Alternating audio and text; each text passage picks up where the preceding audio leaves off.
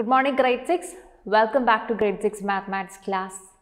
Hope you all are doing great today. In the previous class, we had discussed the first five questions of revision time exercise. Today, let's discuss the rest of the questions. So, let's start with question number 6 today. So, it says arrange the following angles in ascending order and classify them as acute, obtuse and reflex angles. So, here you are given a few angles. You have to identify and classify them as acute, obtuse and reflex angles. So what is an acute angle? An angle which measures less than 90 degree and greater than 0 degree. So the measure will be between 0 degree and 90 degree. An obtuse angle is one in which the measure is between 90 degree and 180 degree. That is it will be more than 90 degree but less than 180 degree. A reflex angle is one which is more than a straight angle that is more than 180 degree but less than a complete angle that is less than 360 degree. So for a reflex angle, the measure will be between 180 degree and 360 degree. Now observe the measurement of the angles given here and classify them accordingly. Let's discuss the next question now. It says based on the given figure, name at least one acute angled triangle, right angled triangle, obtuse angled triangle, scalene triangle, isosceles triangle and equilateral triangle. So, in a previous class, we learned about different types of triangles. So, a triangle is a polygon which has got the least number of sides. That is, there are three sides made up of three line segments. So, two types of classifications are possible for triangles. One classification is based on the sides, that is the length of the sides. The other classification is based on the angles the sides enclose. So, based on the sides, we can classify triangles as equilateral triangle, scalene triangle and isosceles triangle. So, equilateral triangle is a triangle in which all the sides are of the same length. A scalene triangle is one which has got all the three sides different in length. An isosceles triangle is one in which two of the three sides will be equal in length. Now, that's the classification based on the length of the sides. Now, based on angles, we can classify triangles as acute angle triangles, right angle triangles and obtuse angle triangles. An acute angle triangle is one in which all the interior angles are less than 90 degree. So, a right angle triangle will be one in which one angle of the triangle is a right angle or one angle is equal to 90 degree. An obtuse angle triangle is one in which one of the angles is an obtuse angle that is one of the angles is more than 90 degree. Now this is the classification of triangles based on the types of angles they enclose. Now look at the textbook. For question number 7 you can see a figure is given there. Observe the figure carefully and you have to identify and name one each of each type of triangle. For example, triangle ABC. Please look at your textbook, see the figure. Triangle ABC, that is a right angle triangle. Then triangle ACG, that is an equilateral triangle. You can also see the symbols given on the sides or the line segments of the triangle. The symbols do match which means the sides are all of the same length.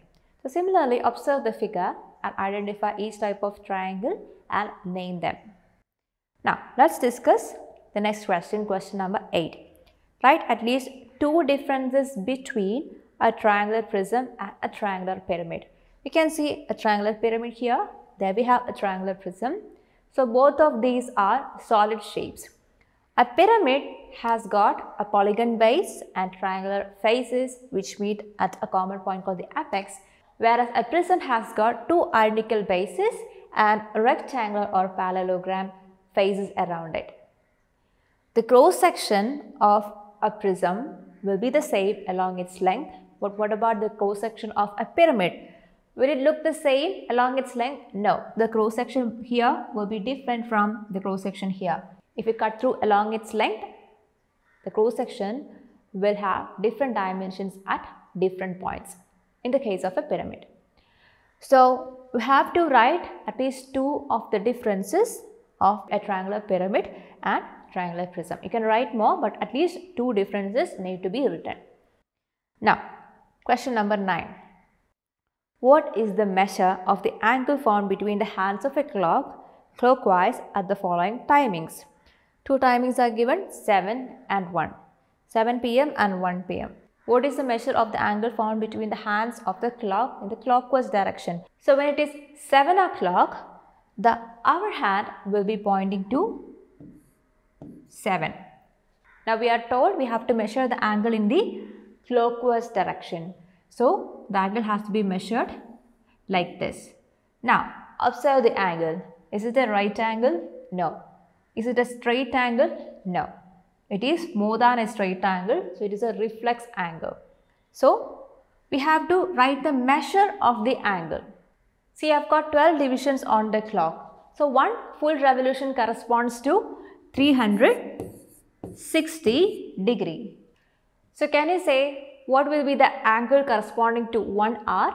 So there are 12 divisions marked on the clock. So when the needles move from 12 and come back to 12, the needles will carve one full revolution or one complete turn.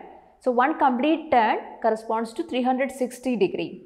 You have learned that before. So can you say what is the angle corresponding to 1 hour? That would be the total 360 degree divided by 12. So this is equal to 30 degree. So 1 hour represents 30 degree on the clock. So when the hour hand moves from 12 to 6, it covers a straight angle which is equal to 180 degree and then when it moves from 6 to 7, it covers an extra 30 degree.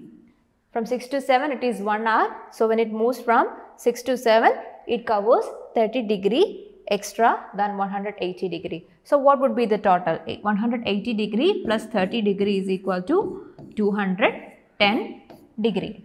So when the hour hand is at 7 o'clock, the angle found between the minute hand and the hour hand is equal to 210 degree.